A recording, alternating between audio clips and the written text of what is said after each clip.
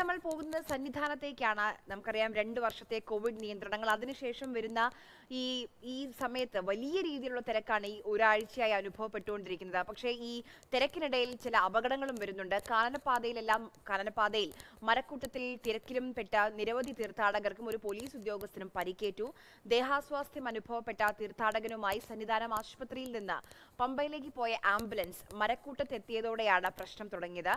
ആംബുലൻസിന് കടന്നു പോകാൻ വഴി ഒരുക്കുന്നതിനിടെ ശരംകുത്തിയിലേക്കുള്ള ക്യൂവിൽ നിന്നവർ ചന്ദ്രാനന്ദൻ റോഡിലേക്ക് തള്ളിക്കയറുകയായിരുന്നു. ഇതിനിടെ ഉണ്ടായ തിക്കിലും തിരക്കിലുമാണ് തീർത്ഥാടകർക്കും പോലീസുകാർക്കുമെല്ലാം പരിക്കേറ്റത്. വെർച്വൽ ക്യൂ വഴി ബുക്ക് ചെയ്തെത്തുന്ന തീർത്ഥാടകരെ ചന്ദ്രാനന്ദൻ റോഡ് വഴിയാണ് സന്നിധാനത്തേക്ക് കടത്തിവിട്ടിരുന്നത്. എന്നാൽ ശബരിമലയിലേക്ക് എത്തുന്ന തീർത്ഥാടകർക്ക് ഓൺലൈൻ മുഖേനയോ സ്പോട്ട് ബുക്കിംഗ് മുഖേനയോ വെർച്വൽ ക്യൂ ബുക്കിംഗ് നിർബന്ധമാക്കിയതോടെ ദർശനത്തിനെത്തുന്ന മുഴുവൻ പേരുടെയും മുഴുവൻ പേരെയും ഇപ്പോൾ ശരംകുത്തി വഴിയാണ് കടത്തിവിടുന്നത്. ശരംകുത്തിയിൽ തിരക്കിൽപ്പെട്ട് എറണാകുളം പുത്തൻകുരിശ് സ്വദേശി ബാബുവിന്റെ മകൾ ലക്ഷ്മിക്ക് തലയ്ക്ക് പരിക്കേറ്റു. കുട്ടിയെ സന്നിധാനം ഗവൺമെന്റ് ആശുപത്രിയിൽ പ്രവേശിപ്പിച്ചു. ദീർഘസമയം ക്യൂ നിന്ന കുട്ടികൾ ലഘുഭക്ഷണവും കുടിവെള്ളവും കിട്ടാതെ തളർന്നു വീണു.